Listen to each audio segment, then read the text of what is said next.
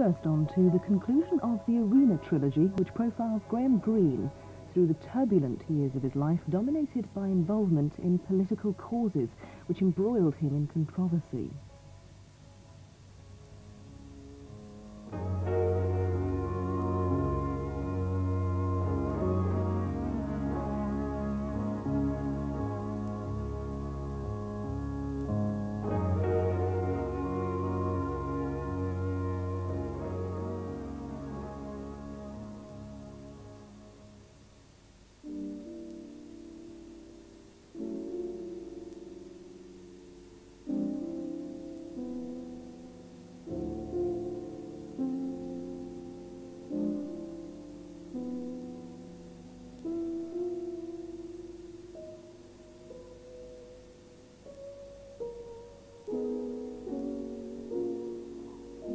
It was the time of year I liked best, when Juan Les Pins becomes as squalid as a closed funfair, with Luna Park boarded up and cards marked Fermeture Annuelle outside the Pam Pam and Maxims, and the Concours International Amateur de Striptease is over for another season. The sun in the morning shines without any glare, and the few white sails move gently on the unblinding sea. You can always trust the English to stay on longer than others into the autumn. We have a blind faith in the southern sun, and we are taken by surprise when the wind blows icily over the Mediterranean. For a man who has reached the age when all he wants is some good wine and some good cheese and a little work, it is the best season of all.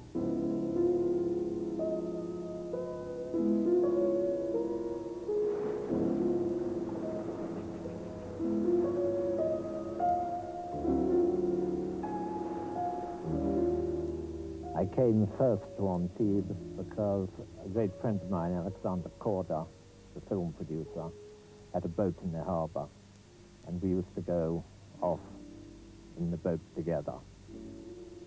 And the time came when I caught a very bad pneumonia in Moscow. And my doctor advised me to spend the winters out of England. And so Antibes was a natural place for me to go.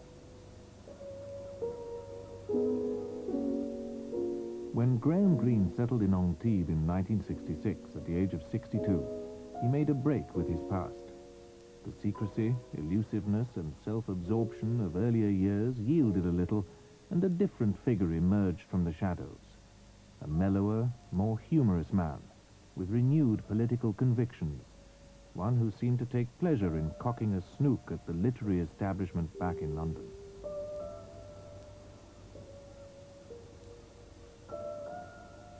It's said he went to live abroad for his health. I think he went for his spiritual health. I mean, it's terribly hard to to uh, be successful in in uh, in British literary society and keep your head low enough. Uh, and Graham found himself his own space in which to function. And, and when he defensively began to compose the legend about himself, which I think he did, in a curious way, it was in order to offer a version of himself which would satisfy people. Greene's newly acquired stability coincided with his friendship for Yvonne Cloetta. He had met her first in the Cameroons in 1959, and she was to become perhaps the most important figure in the later years of his life. She lived nearby, she had her own husband and family. She made few demands on Greene, yet she provided him with constant loyalty and affection. He was to describe her many times as his greatest friend.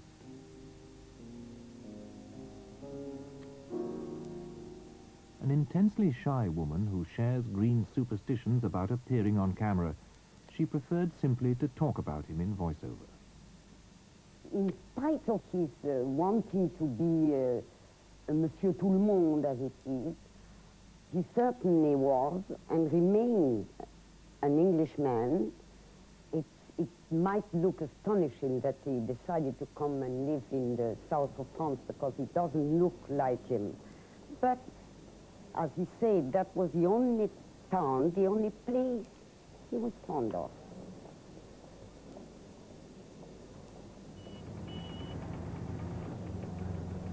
And very soon after he came, he, he bought a flat at the Résidence des Fleurs, des Fleurs near the harbor. Please come in. This is Graham Greene's uh, apartment in Antibes, where he lived for more than 20 years. Very simple apartment, and, and his family have agreed that I can show it to you. I'm Ronnie Challoner, Graham's honorary consul. Come in.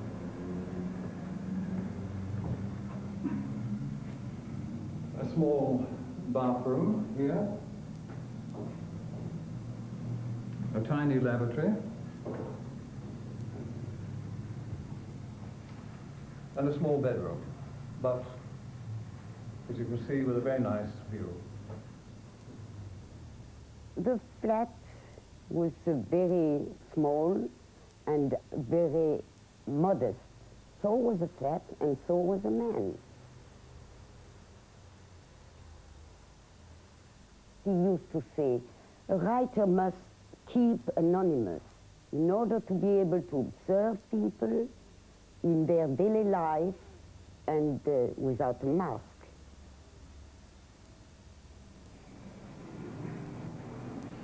And the sitting room, living room, where he spent most of his time writing, reading, and so on. it's what we call in France uh, deux pièces. In other words, it's simply two rooms. It has a warm atmosphere. It has this charm. On the shelves were all his books and many of his pictures, which uh, mostly were dedicated uh, to him. And he would sit here with his pens, his papers, uh, his famous little statue, and write. He didn't care much for uh, material belongings uh, in general, except for his books. These were precious, very precious to him. He lived with them, and they helped him to feel at home. And he said to me, but this is all what one needs, isn't it? I wouldn't like to have a special room for work. I would consider it as a place of torture. I think he became uh, uh, much more irate, uh, much more angry in old age, living very sparsely, very parsimoniously, drinking, always drinking, but uh, stripped himself down to a, a, total lack of opulence. You know, this was not the situation of the distinguished writer at all, but there he was. Uh, happy, he said he was happy, reading, going to mass occasionally, but living in sin. He was able to reconcile these things, which I personally couldn't do. But I think he wanted to create an image, you know, the idea of the, the, the great man jetting around the world, going to the most dangerous spots in the world, and uh, holding to uh, a kind of fundamental truth in the face of political lies.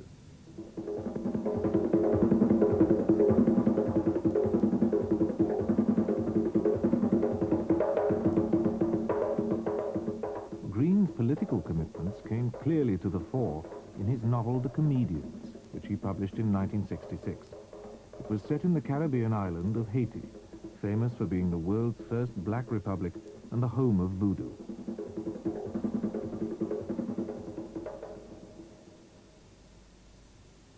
Greene had visited the island several times in the late 1950s, but returned again in 1963, shortly after the dictator, Papa Doc Duvalier, had come to power.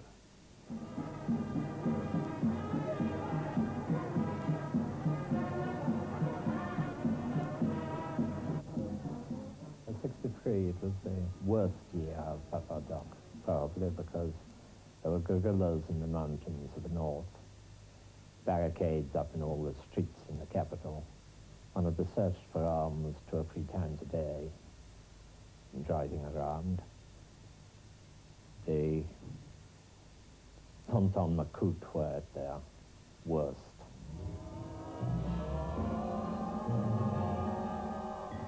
The comedians contained a detailed and graphic portrait of the terror and atrocities under Papa Doc's regime, and likened Papa Doc himself to Baron Samedi, the voodoo embodiment of death. Greene was later to claim the book as his first political novel.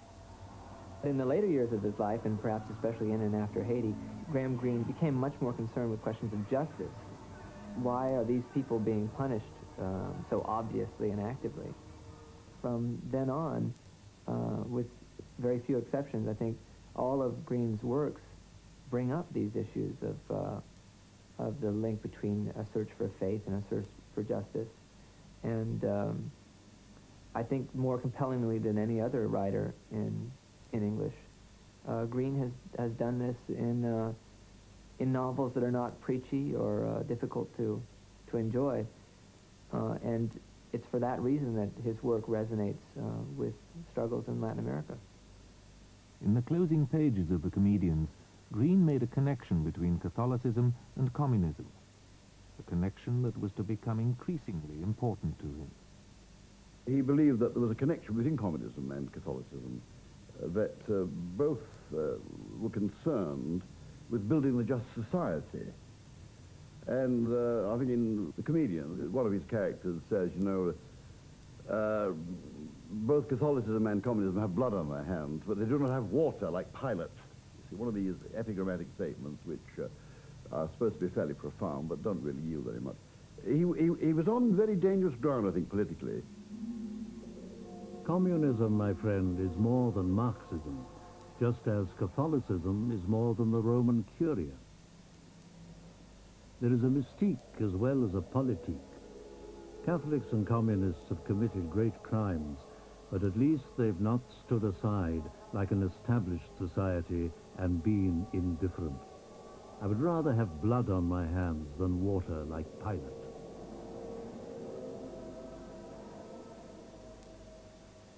The connection between Catholicism and communism, I think, was of great personal importance to Greene. What it did more than anything else was to resonate in the mind of a doubting Catholic who wants to uh, remain tied to, to the faith, who wants to have something to believe in, but frankly can't be moved anymore by the uh, washed out, the pale versions of Catholicism that he'd come to see in, in, in Europe.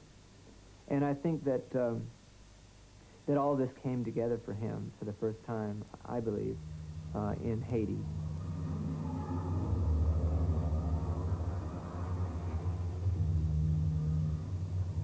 Monsieur Graham Greene, qu'on a parlé de son livre qui n'a pas de valeur, appelé Les ceci faisait l'objet de conspirations internationales politiques contre la première république noire indépendante du monde.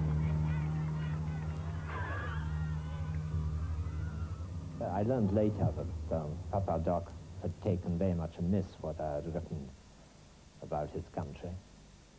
And he did me the honor of publishing a brochure in Port-au-Prince directed to exposing me. It was in French and English and was called Graham Greene Demasqué, Finally Exposed. I think it was the greatest honor I've ever received in my life. Graham Greene, finally himself, just as he is, and has always been, a tame personality, the prey to a thousand complexes and obsessions. With the comedians, he makes a double hit. He satisfies his sadistic instincts, vomits his negrophobia, and at the same time rounds off his bank account.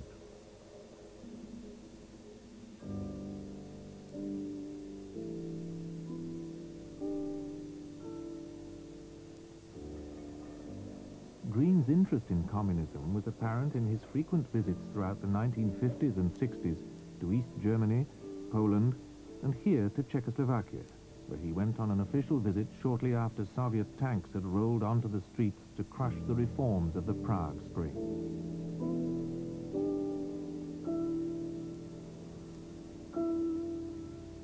Nor was he above defending his former boss, Kim Philby, for whom he had worked during the Second World War.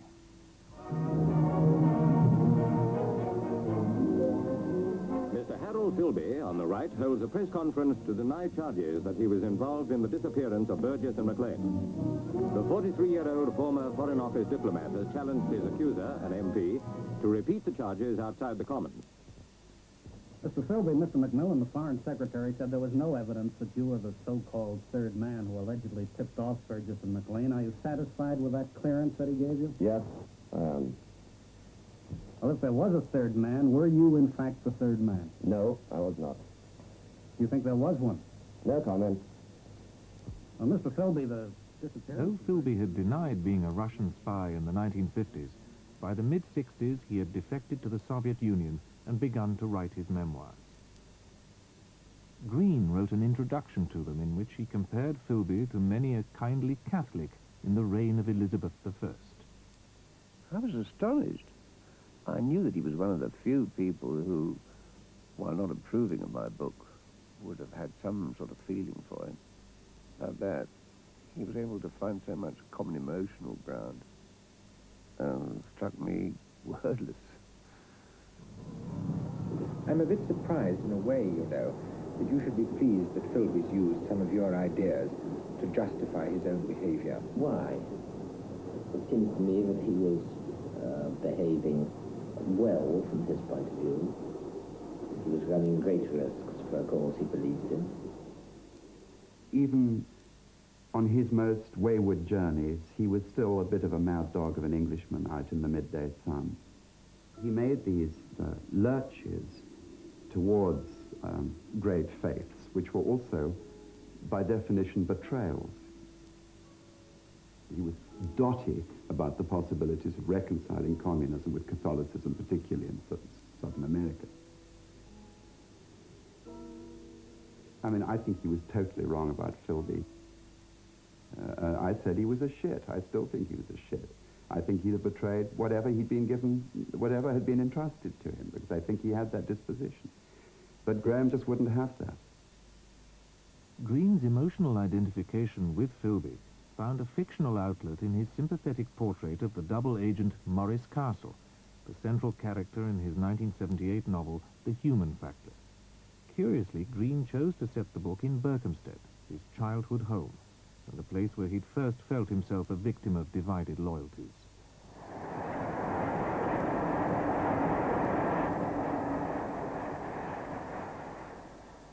Castle left his bicycle with the ticket collector at Berkhamsted Station and went upstairs to the London platform. He knew nearly all the commuters by sight. He was even on nodding terms with a few of them. A cold October mist was lying in the grassy pool of the castle and dripping from the willows into the canal on the other side of the line. He began reading in Book Two of War and Peace. It was a breach of security, even a small act of defiance, to read this book publicly for pleasure. One step beyond that boundary line, which resembles the line dividing the living from the dead, lies uncertainty, suffering, and death. And what is there? Who is there? There, beyond that field, that tree. Castle looked out of the window and seemed to see with the eyes of Tolstoy's soldier the motionless spirit level of the canal pointing towards Boxmoor. I think it mattered to him hugely to remain indignant, impulsive, in a way anti-intellectual. He always preferred feeling to rationalization. He always preferred friendship to, to a collective loyalty. A total mystery to me how he actually remained seemingly loyal to, to the tenets and the dogma of the Roman Catholic Church. Seems to have been the one discipline he, he was prepared to accept at any price.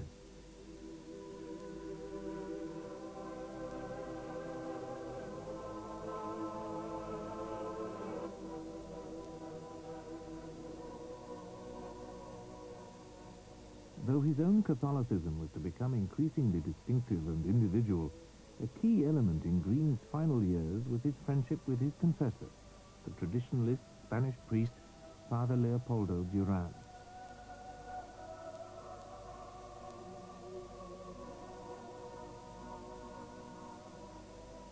Our friendship started in the very, very first moment we met. And I think after five minutes of our conversation, our friendship was as strong and faithful as it was when he died.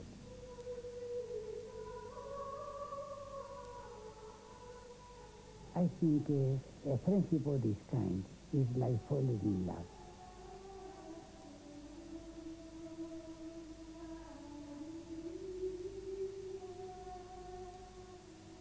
But uh, to be a priest, I think meant everything. Why is the first time I say that? Because I think that Graham wanted to travel and to, to be friendly with a priest who was a, a kind of a, I would say, a priest uh, ready to joke, ready to laugh, ready to talk about the books, ready to, especially ready to be secret hundred percent because Graham had many disappointments with Santry.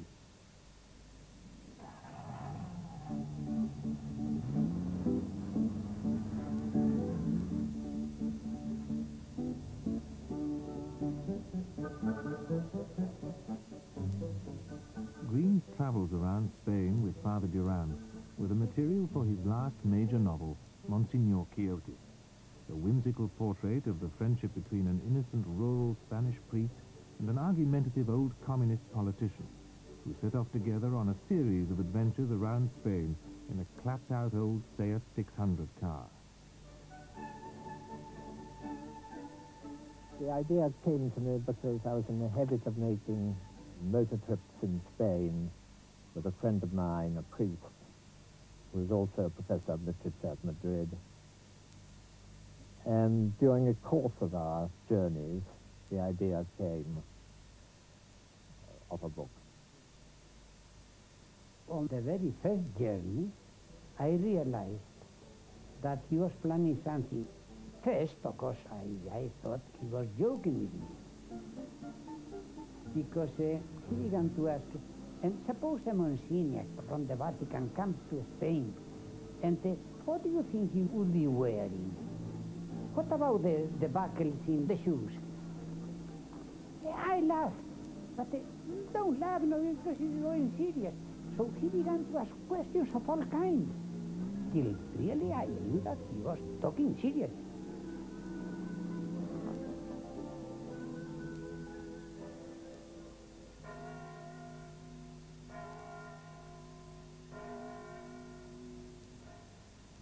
Was their visit to the ancient university town of Salamanca and to the tomb of the Spanish novelist and philosopher Miguel de Unamuno that was the catalyst for Greene to write Monsignor Quixote.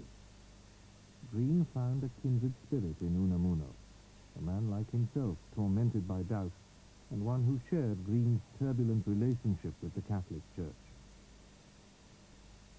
Unamuno. Father Quixote repeated the name and looked up with respect at the face of stone, the hooded eyes expressing the fierceness and arrogance of individual thought. You know how he loved your ancestor and studied his life.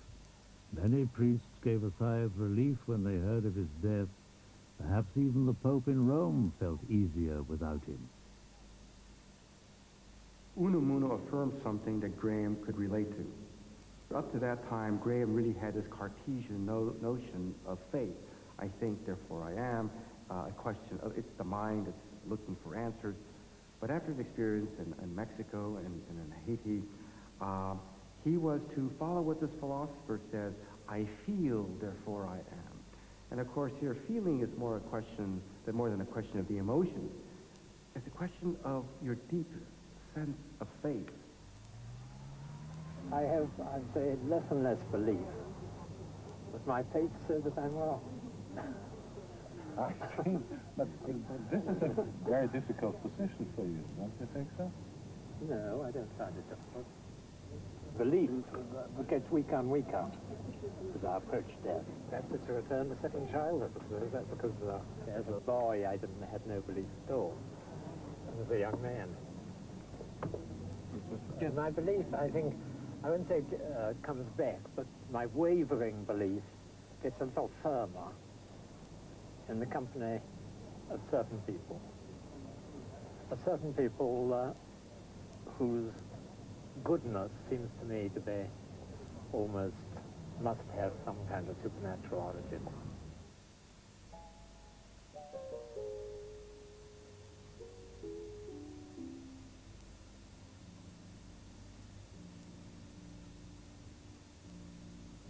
The habits of his life were always very important to Graham, the small habits that, that he created to both get him through his writing life and through the day, whether it was the martini or whether it was going to Chez Felix for lunch, and all those myriad of little habits were important to him, and he would often talk about them.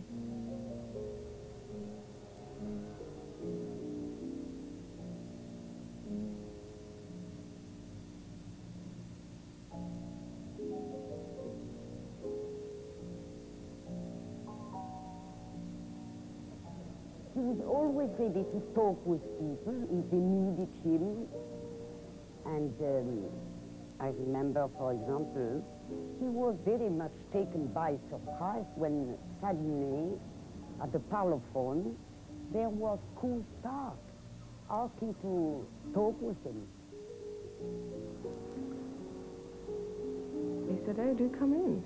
And then he came down and met me, and I trotted upstairs um, with him. I, I was a little intimidated. I thought, ooh, no, have I made a mistake? no, I didn't expect to, for him to come to the door. I thought I'd be dealing with someone else. And every summer when I went, um, after that first summer, we had lunch. I talked to him about fashion. I mean, anything, um, anything that was happening. He loved um, to know, what, you know, what music one listened to, and you know. I like gossip. People from whom I can learn something which is completely outside my own profession, although it may be used one day in writing. I'm not using them, but I find that I, I like the gossip of women. I like the talk of lawyers and doctors if they don't get too surgical.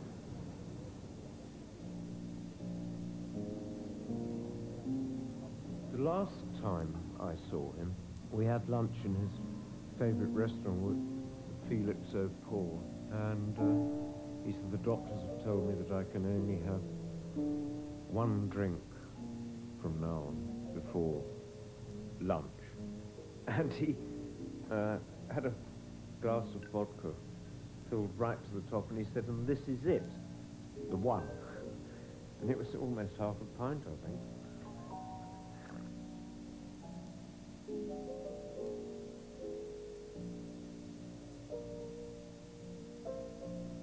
Il aimait déjeuner ici souvent seul.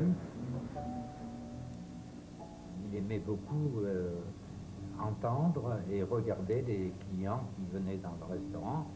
Et je crois que c'est ici qu'il a trouvé euh, le sujet d'un de ses short novels. Pouvez-vous me prêter votre mari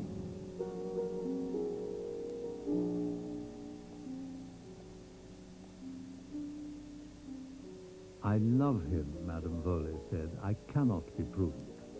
And then suddenly became aware of my presence. She whispered something to her companion, and I heard the reassurance and engrais. I watched her as covertly as I could.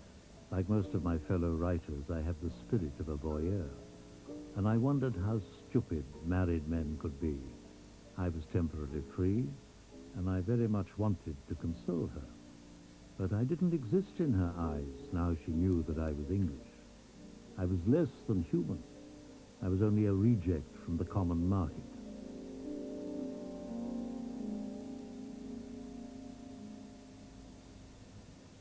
His flat in Antibes was, uh,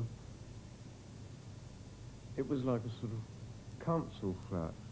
But, yeah, I mean, it was nice, but it was terribly simple. I mean, he wasn't a man for luxuries or anything. He didn't use, uh, for a writer, he was very sparing in conversation with the word I or me, which makes a tremendous change. than the sort of people that win Booker Prizes. Or Nobel Peace Prizes.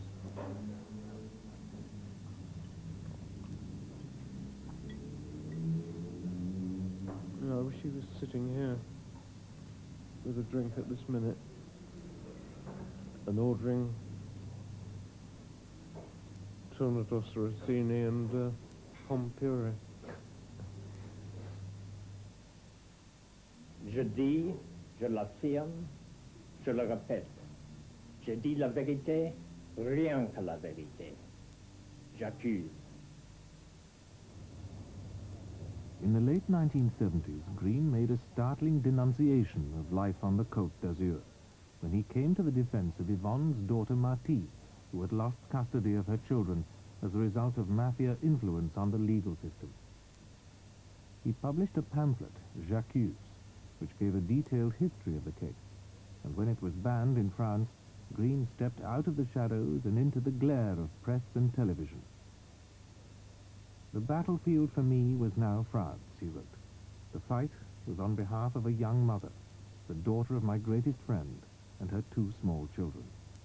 I asked him if it was because he had a personal involvement that he was uh, reacting emotionally. And he said no, that he, that he um, obviously did have a personal involvement, but the thing that really motivated him to come forward and do something about it was the injustice of the situation. Je ne veux pas entamer une polémique avec M. Daniel dit à la télévision. Tout ce que j'avais à dire sur cette affaire, et qui est la vérité, je l'ai écrit dans mon pamphlet J'accuse. Ce pamphlet a été si- saisi par ordonnance d'un juge en mon absence et sans que j'en sois prévenu. J'ai fait appel contre cette décision auprès de la Cour d'Aix-en-Provence et j'espère que le public français sera bientôt en mesure de lire mon pamphlet.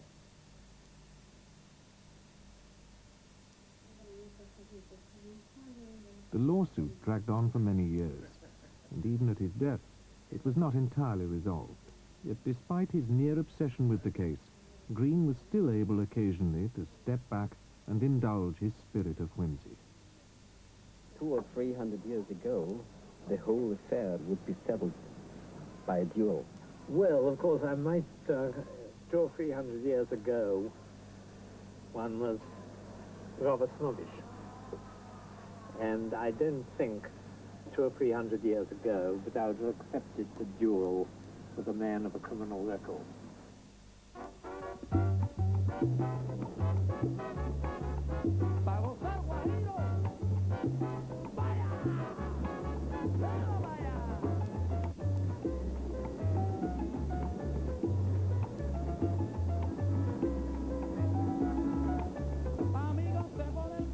In the winter of 1976, I was surprised and a little mystified to be invited by General Omar Torrijos Herrera to visit Panama as his guest. To this day, I don't know what had been in the mind of the General when the invitation was dispatched, but I felt no hesitation in accepting. I knew that Panama, even more even than Spain, had persistently haunted my imagination.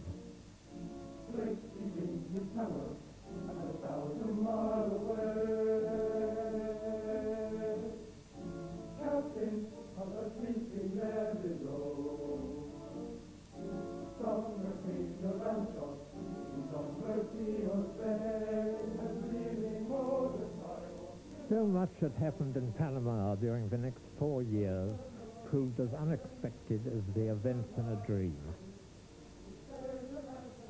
It was in Portobello Bay that Drake's body was buried. Portobello is fantastically beautiful. Little seems altered since Drake's day, when the town stood at the end of the gold route from Panama City. Here is still the treasure house where the gold waited shipment to Spain. The three forts guarding the town. The ramparts which are lined now with vultures. Vultures, too, were sitting on and around the cross of the cathedral. From the door of the cathedral, one could see nothing of the village, only the jungle descending like a curtain, dark and impenetrable. We went to see a copper mine, but Graham Greene had no interest in the copper mine. His interest was the jungle, was the, was the, the mountains, because he was way in the mountains. And there, I don't know, at one moment, we began to say, we went to talk about poetry. And he said that English was a better language for poetry than Spanish. And I said that Spanish was a better language. So he began to recite English poetry to, to, to make through his point that English was a better language. And I began to recite Spanish poetry to prove to him that Spanish is a better language for poetry. And I'm, I think I won. Drake, he's in his hammock and a thousand mile away. Captain out asleep in there below. Slung atween the round shot in nombre de Dios. Ah, de la vida. Nadie me responde. Aquí de los antaños que he vivido. La fortuna mis tiempos ha mordido, las horas mi locura las esconde. Que sin poder saber cómo ni dónde la salud y la edad hayan huido, falta la vida, sí se lo vivido. Choo Choo's adventures with Greene in Panama were the raw material for a novel Greene began but never finished called On the Way Back, in which Chuchu was to have been the hero. Uh, I was meant to be the main character and a French reporter. Jane, a French reporter. It could have been British. Anyway, at the end, uh, I will, in the novel, I was going to take this reporter, journalist, all the way to David, and there we made love, the French and me, and then somebody killed me with a bomb. So it was, uh, that was, I was going to be killed. At the end, it was Torrijos that was bombed.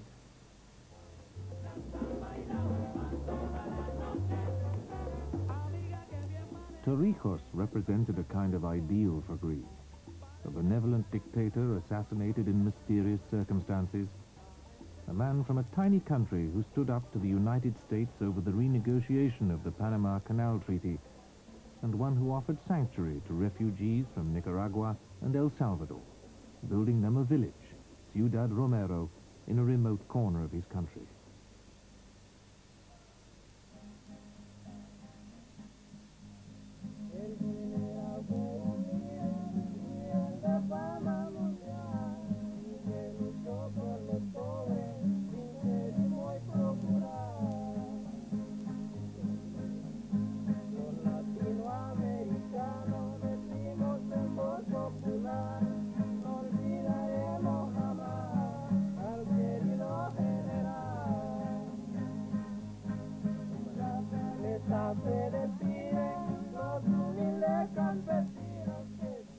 Introduced him to, to a, a way of seeing politics uh, that probably is a different way than you have in Europe. He said it himself that politics in Central America was a matter of life and death.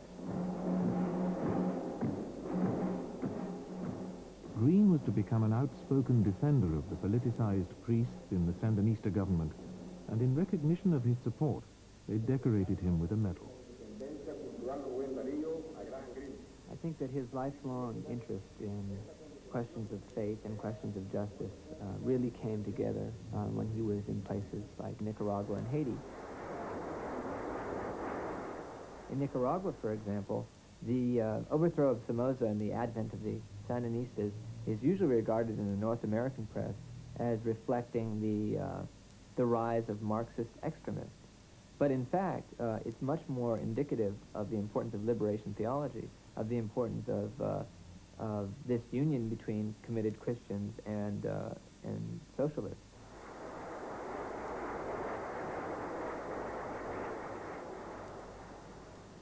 I remember one day he told me he had just been reading a book by a Brazilian theologian, and he said to me, it's about liberation theology. I'm a hundred percent in agreement with uh, these new movements which proclaims that the church should take a position for the poor. I see you more, even more, as being in the front line of the trenches in a war between civilization and. I remember meeting him in, in Managua, in the capital of Nicaragua. And he, he came in to, to the bar surrounded by some of the Sandinista, one of the Sandinista leaders, the Minister of the Interior, and a whole lot of gunmen. And he affected not to notice that the gunmen were there. Everyone else could see this. Uh, in fact, a lot of people sort of fled the bar in, in terror. But to him it was just a joke, and he, he wandered around, and he just thought that being in uh, Nicaragua among a whole lot of revolutionaries was a great deal more fun than attending stuffy meetings of literary people in London or New York, and who can blame him for that?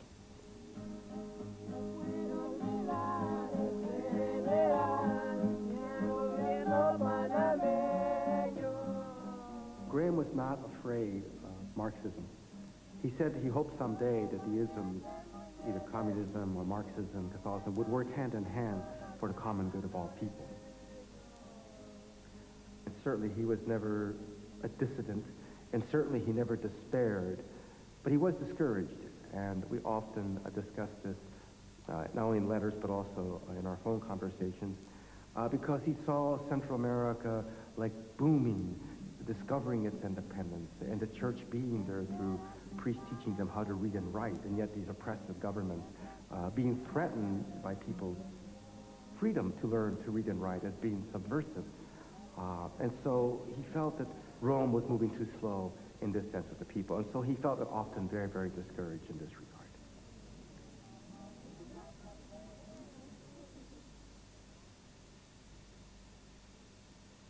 The Pope, when he speaks of religious persecution in Nicaragua, seems lamentably ill-informed. I've just returned from that country, and I can only speak of what I saw. Big placards displayed on the roads marked, Revolution, yes, but Christian. Nor were these celebrations a protest against the government.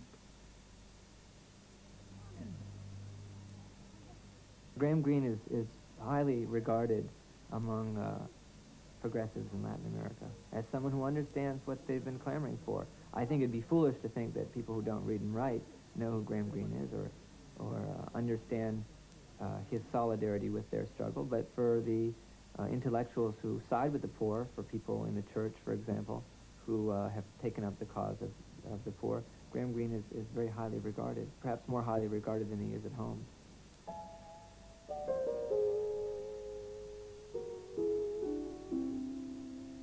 Trouble with him, especially in his later years, uh, was that he became very pontifical about the faith, as though he was the sole repository of its truth. You know, God may not exist, you know, and uh, you, you're supposed to accept that as though it's from the Vatican itself.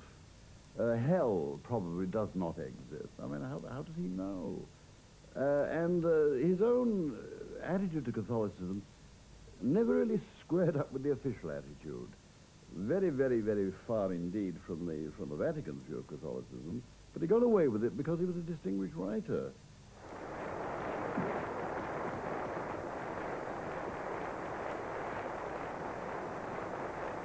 на Западе и на Востоке, в Европе. У меня даже есть мечта, господин генеральный секретарь, что, возможно, однажды, еще до моей смерти, я узнаю о том, что посол Советского Союза э, дает советы в Ватикане. К сожалению, это все, что я мог бы сказать. Благодарю за внимание. Russia, being the center of socialism, as he interpreted it, always had uh, exerted an attraction on him but uh, during more than 25 years, he refused to go there. In 86, things had changed. Gorbachev was there. And he was very, very interested in showing how things were developing. And um, so he got an invitation and accepted it. And he asked me, me to accompany him. Я несчастлив, мне плохо, когда я не пишу. oil on one's cheek. His program there was a very, very heavy one. The most moving moment I can remember was a visit to the little uh, the Museum of Dostoevsky. It was like in his flat in Antibes, a very simple apartment, but with a lot of manuscripts written by the great man. And there, really, I could see tears in Graham's eyes. He was so moved.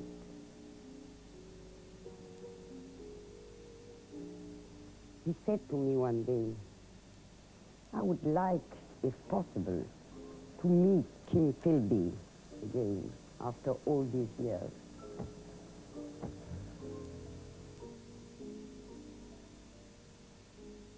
Greene met Philby in his Moscow flat and was later to remark quizzically that it had been just like old times. Graham was perfectly aware that his meeting with Kim Philby would be widely commented in the Western press. Well, he was ready to face it. What mattered for him was the human factor, and he remained loyal to Kim Philby as a friend, and I insist on that, right to the end.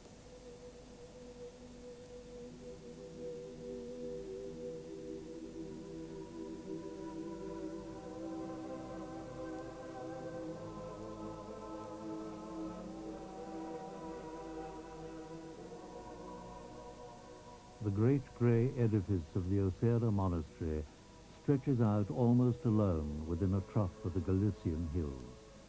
A small shop and a bar at the very entrance of the monastery grounds make up the whole village of Osera. The carved exterior, which dates from the 16th century, hides the 12th century interior.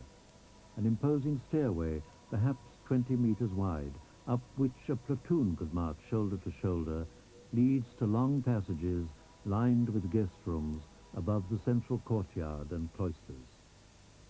Sometimes a white-robed figure passes rapidly by on what is apparently a serious errand. And in the dark corners loom the wooden figures of popes and of the knights whose order founded the monastery. They take on an appearance of life, as sad memories do when the dark has fallen.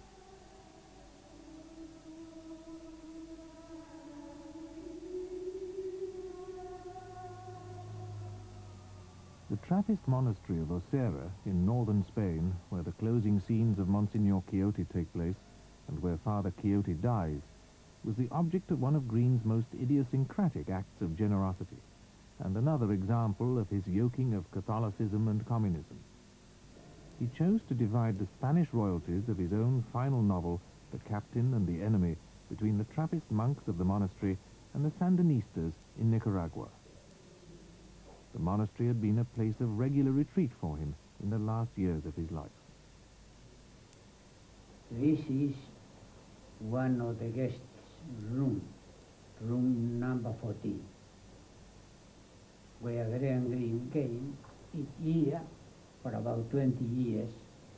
And uh, we were uh, talking here normally, sometimes about the spiritual things, sometimes about literature, he was talking always whispering because the silence and the peace of the monastery impressed him immensely.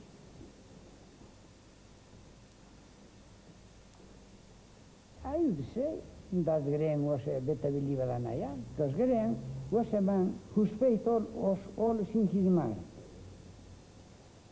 Uh, on this aspect, uh, I would say that Graham in this aspect, I will say that Graham was also a very singular man, very singular. And uh, to go deeper to the thing would be perhaps to pass the frontier of my, uh, of my role as a priest. I think that most of what he said about himself was a cover story, because the internal truths are not explicable. Uh, in black on, on white, they often look disgraceful. And so he really, he, he painted a picture of Graham Greene and advanced behind it. And that was the nature of his secrecy. Uh, I think that actually um, to let him rest with his secrets is, is probably the most decent and creative thing one can do for him.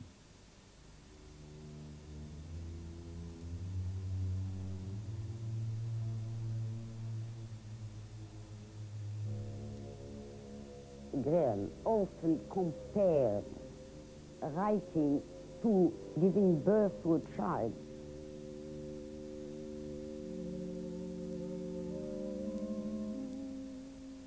He always said that his books were his children.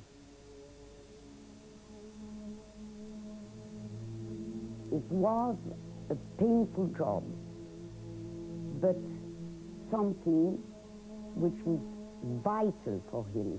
He couldn't live without it.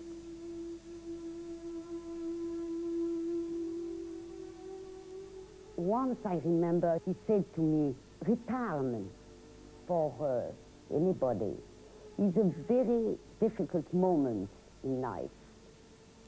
But for a writer, it means death.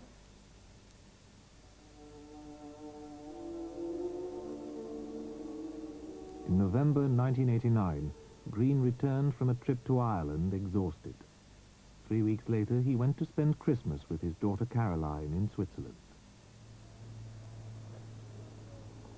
While he was there, staying there with her, he collapsed altogether and had to be taken to the hospital in Belvedere. It was that time they discovered that he had a blood problem. And the way to deal with it was to give him blood transfusions. He was feeling like a prisoner attached to his chains because every fortnight he had to go to hospital and to have these blood transfusions. And that long period has been, for him, has been really like a nightmare. As one grows older, one uh, sees the approach of the wall in front of one, and one sometimes wonders whether it's worthwhile trying to write another book because one may never finish it. Et vous y pensez souvent, ce mur, justement Oh, yes, but not, uh, not with fear. In the last couple of years of his life, when he was very tired, exhausted by his illness, he took great pleasure in putting together what he decided would be his last book that he would leave for publication, which is called A World of My Own, and is his dream diary. It's a selection from the dream diaries that he kept over a period of almost 25 years. And I think one of the great charms of the book is the fact that clearly he found it a very cheerful thing to do in those last, last months when he was very ill. It can be a comfort sometimes to know that there is a world which is purely one's own. The experience in that world of travel, danger, happiness is shared with no one else. There are no witnesses, no libel actions. The characters I meet there have no memory of meeting me. No journalist or would-be biographer can check my account with another's. I have spoken with Khrushchev at a dinner party. I have been sent by the Secret Service to murder Goebbels. I'm not lying, and yet, of all the witnesses who share these scenes with me, there is not one who can claim from his personal knowledge that what I describe is untrue.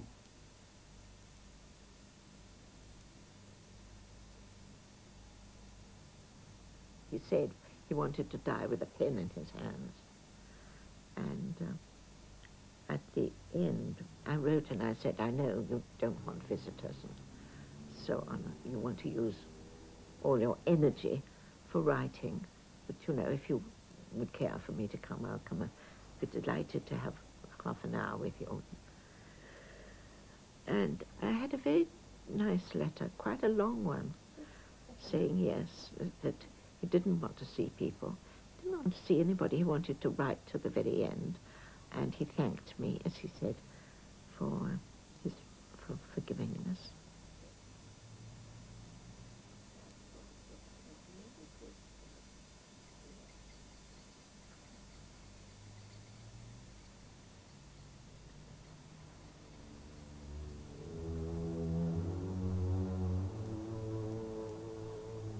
Doctor said to me he had never come across such a case before.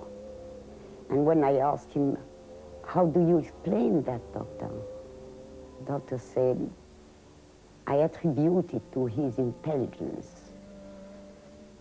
But to me, after having known him for so many years, I think it's not the only reason.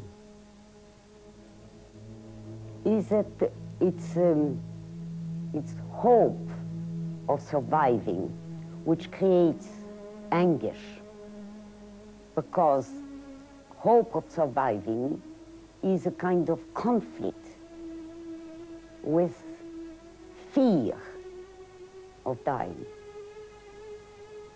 And he wanted to go. He had had enough. He really wanted to go.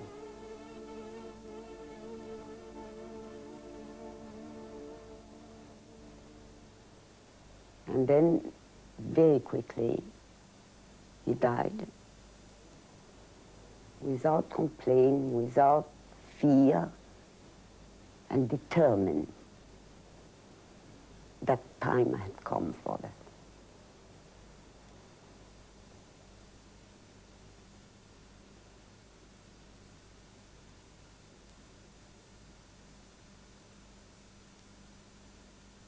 I do know that he died with Father Durán holding his hand because he'd known him for about 20 years.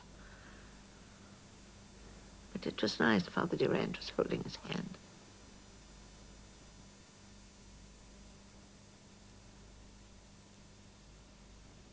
He never asked for a priest to be fetched, never.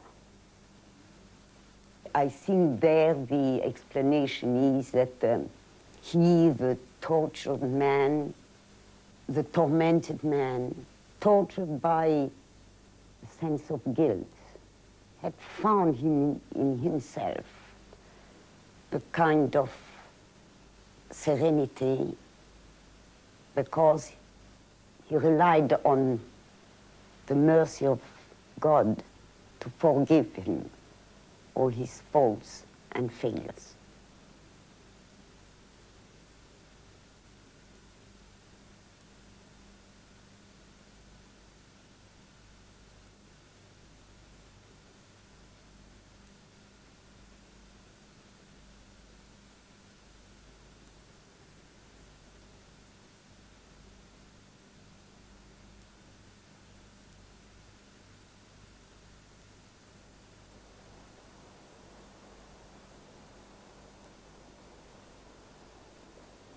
I can't believe in a heaven which is just passive bliss.